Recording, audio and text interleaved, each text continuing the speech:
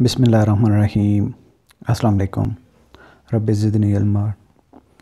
Dear aspirants आज हम central banking का नेक्स्ट टॉपिक स्टार्ट करने जा रहे हैं। और यहाँ पे मैं आपको आ, बताना ज़रूरी समझ रहा था कि सीएसएस का जो नेक्स्ट सेशन होगा नेक्स्ट एग्ज़ाम होंगे उसके लिए ऑनलाइन रजिस्ट्रेशन स्टार्ट हो चुकी है। ऑनलाइन जो प्रिपरेशन करना चाहते हैं वो कंपलसरी कोर्सेज में अभी एडमिशन ले सकते हैं और कुछ टाइम के बाद ऑप्शनल सब्जेक्ट्स के कोर्सेज भी अवेलेबल हो जाएँगे। तो आप विज़िट कर सकते हैं हमारी वेबसाइट और आज हम लेक्चर नंबर सिक्स कवर करेंगे और लास्ट हमने सेंट्रल बैंक पढ़ा, उसके फ़ंक्शन पढ़े और जो करेंसी इशू है, उसकी बेसिस हमने पढ़ी। तो उसके कुछ ड्रॉबैक्स थे जो एक दो लाइनें हमारी रह गई थी, जिसमें बैंकिंग सेक्टर क्या कहता है कि banking sector banking currency principle जो है बैंकिंग प्रिंसिपल उसमें टोटली आपको रिज़र्व नहीं रखने पड़ते गोल्ड के जितने आप करेंसी इशू करते हैं।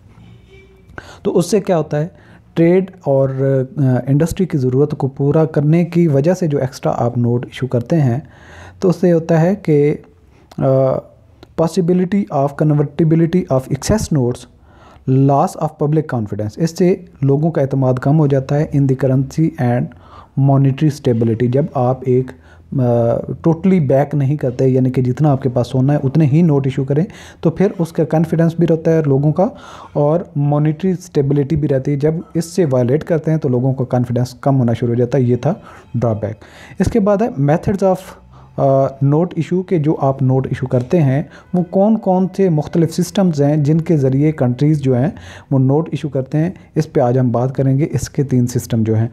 Both the principles of note issue mentioned above have serious defect जो ऊपर हमने बात की, यानी कि करेंसी प्रिंसिपल और बैंकिंग प्रिंसिपल इनमें कुछ प्रॉब्लम्स थे।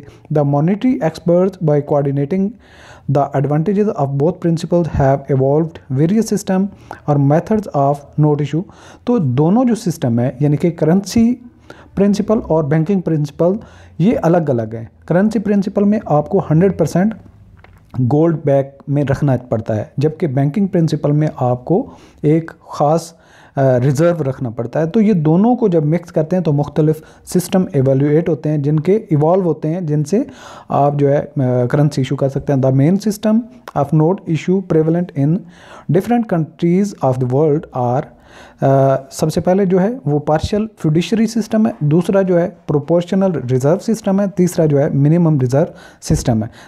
These system are now discussed in brief तो सबसे पहले जो है uh, वो है फिक्स्ड फिडिशरी सिस्टम फिक्स्ड का मतलब तो फिक्स्ड होता है फिडिशरी का मतलब मुखलिस होता है खालिस होता है सिस्टम यानी कि खालिस सिस्टम तो इससे क्या मतलब हुआ?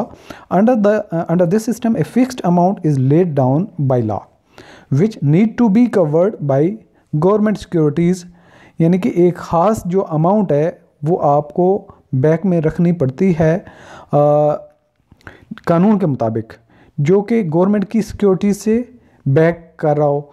Notes issued in excess of this amount must be fully backed by gold अब गवर्नमेंट ने सिक्योरिटीज़ इशू की या सिक्योरिटीज़ दी uh, उस बात की या श्योरिटी दी कि इतने हम नोट इशू कर रहे हैं।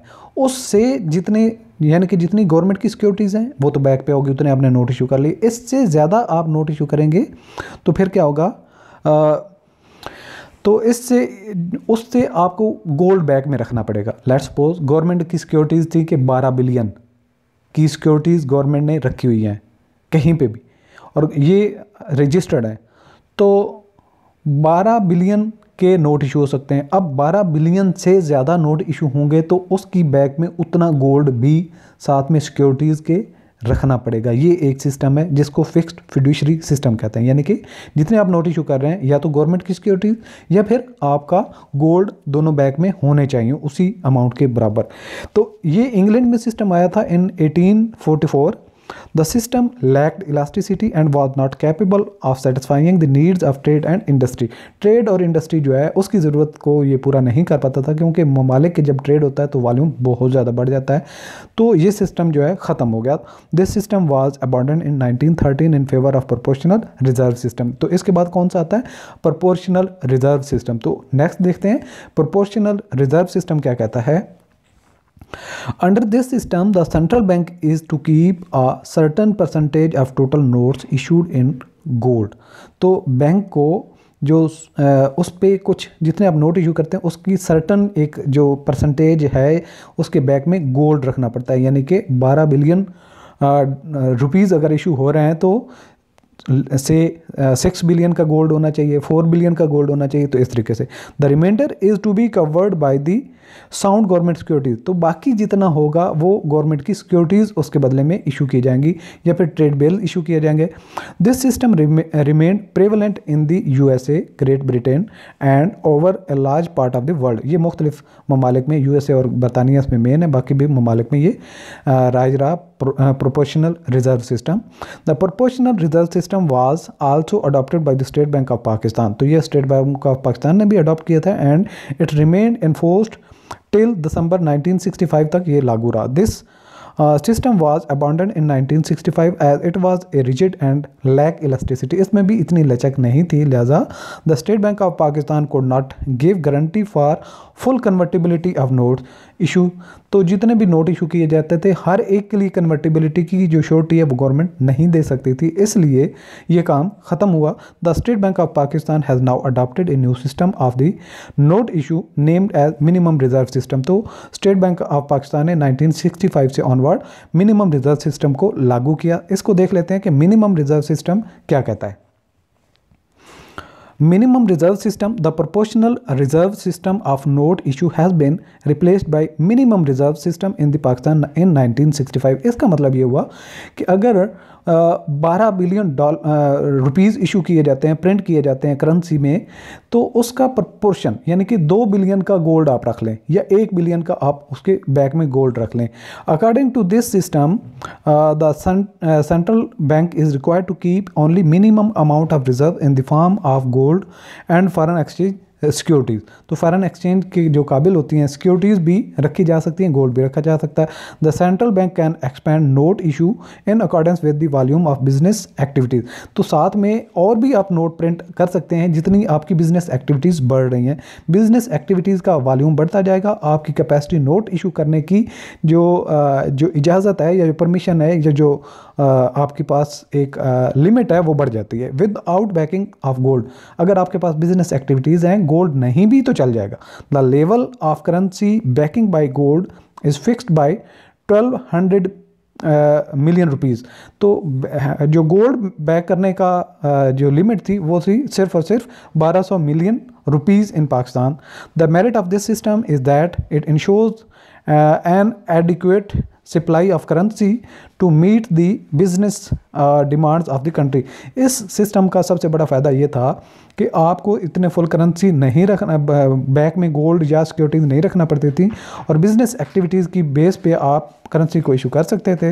लिहाजा ये बिज़नेस के लिए बहुत सूदमंद था कि जितना आपका बिज़नेस इवॉल्व होता जाएगा, इन बढ़ता जाएगा, आपकी लिमिट बढ़ती जाएगी और आप ट्रेड और इंडस्ट्री को लेके चल सकते हैं साथ easily in other word the method of note issue is sufficiently elastic तो इसमें यह क्या है? लचकदार सिस्टम है आपके पास।